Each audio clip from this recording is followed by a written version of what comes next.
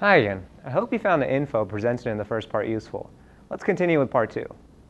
Probably the best place to begin is with the most general piece of safety equipment in the lab, the safety cabinet. The safety cabinet contains important supplies for handling a wide range of lab safety issues.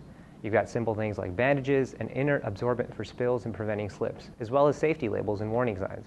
If you notice that supplies in the safety cabinet are running low, let your instructor know so it can be restocked. This thing here is not a dual drinking fountain for you and that special someone. It's actually a terrible drinking fountain. Actually, it's an eye wash station, and its job is to wash your eyes if they've been splashed with chemicals. You know your eyes have been splashed with chemicals if you suddenly notice that they're really burning and hurting badly. If this happens to you or someone around you, get to the eye wash station or help the other person to the station. To use the eye wash, take the hose out of the holder, lean over the sink, open your eyes wide, and then you just squeeze the handle and aim it into your eyes. Then, hold your eyelids open with your fingers and stay there for 15 minutes so the water can wash away the chemicals. Don't worry about flooding the counter or the floor. That's the least of your worries. If someone in your lab has to use the eye wash station, consult with your instructor about calling the environmental health and safety folks, or even 911 if the situation is serious enough. Every lab has a familiar red fire extinguisher in it. They might be in different places in each lab, so be sure you know where the nearest one is when you come into lab.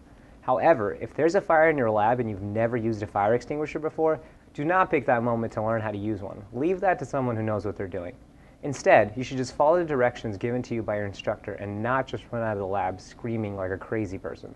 If it's necessary, stop screaming long enough to pull the fire alarm as you run past it. This is a biological safety hood. It's basically a powerful air cleaner and its job is to safely vent dangerous or smoky emissions. It's especially useful for dealing with emissions in lab classes that take place after lunch. To use the hood, raise the glass door to the stop point, and then put your chemicals inside. This will allow the vent to do its job. A few more safety tips about hoods. First, never put your head inside the fume hood when chemicals are present. That sort of defeats the purpose, doesn't it? Next, don't use the hood interior as a writing desk.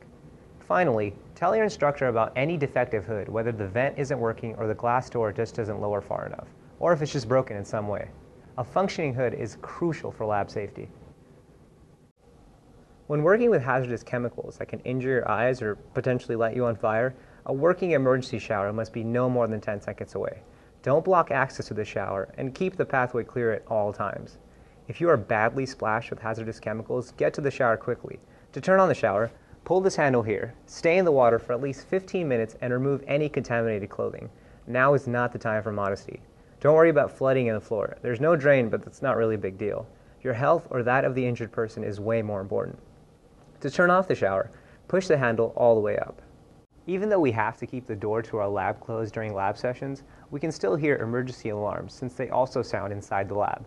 If the alarm sounds or instructor orders everyone to evacuate the lab because of an emergency, get out fast. Turn off Bunsen burners or other devices if there's time, but leave your backpack and other items.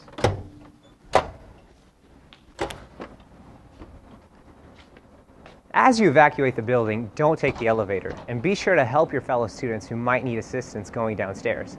Once you're outside, everyone must get 200 feet away from the building and stay off the sidewalks and driveways. Instead, find a comfortable spot in the grass, perhaps under a large tree like this one, and relax because you're probably going to be here for a while. Perhaps someone can pull out a guitar and lead a rousing sing along. We didn't die in rocky today. Hey, hey.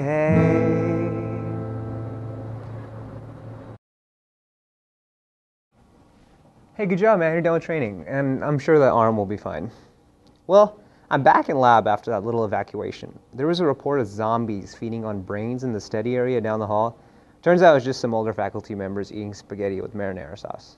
Anyway, I hope you found the safety tutorial informative and fun.